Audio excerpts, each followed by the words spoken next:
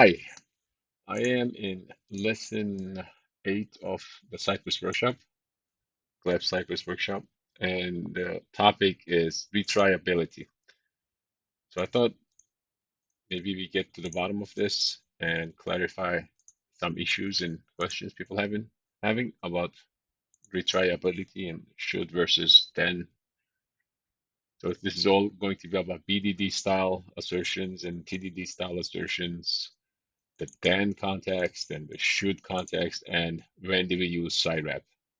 Okay, so there are four ways to do assertions with Cypress uh, as opposed to one that you've been used to with Jest.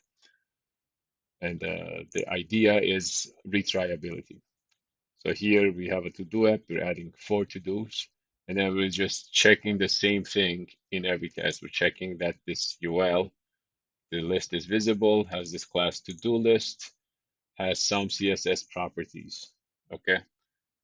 The first kind is the BDD style, the default Cypress style. What advantage it gives is it's readable like English and it will retry. So we'll grab the element and then, so this element it will grab and then it will make these assertions about it. Okay. And this should, anything that comes after should uh, will be retried. So the visibility will be retried. And it's just an alias for should, so you could just replace these with and. It would do exactly the same thing. Okay, so what's the takeaway? Should retries. BDD style is default for Cypress. That's that. So how does that work with the TDD world? You can grab that element and then expose it to the then context the difference in the TDD style, the default TDD style is that things within the then context will not be retried. For instance, this UL to be visible isn't going to be retried right now. Uh, it's just that at this point, things are stable, right? It's, it's there. You don't have to rely on retriability. But the key is there will not be any built-in Cypress retries within the then context when you're using the TDD style you can get around that. That's easy to get around. The only difference is you use should instead of then, right? Then Cypress's then is very similar to your normal then, but uh, it's slightly different underneath it. Should is just like then, but it will retry things that have you have written in the TDD style. So everything will work the same except with retriability. So if you like that style, you should use should instead of then. So things can retry here. Now, what is the cy.wrap? And I, I did it in a few places. I see people repeating it, when to use it, when not to use it.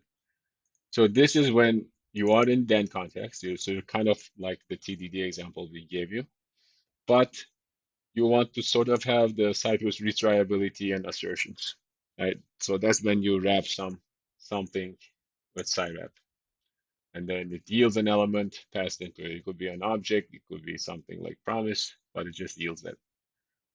Okay, so this is when you use cy when you're inside a then closure, and then you want to continue that BDD style of Cypress with some retries. Okay, so those are the four valid ones. BDD versus TDD, should versus then right? Four ways of doing it.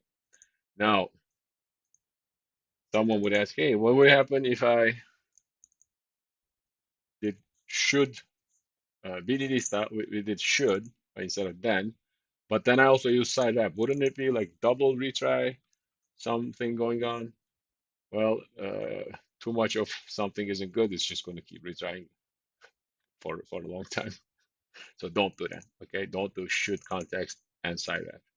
The valid ways are either BDD style, regular Cypress, should, and keep chaining, or you do TDD instead of then, you should, so it retries, or if you're in a then context, maybe like this is a cy.request and then drop, maybe then it's useful, right? You could also do this. So I would suggest these three styles of assertions using Cypress.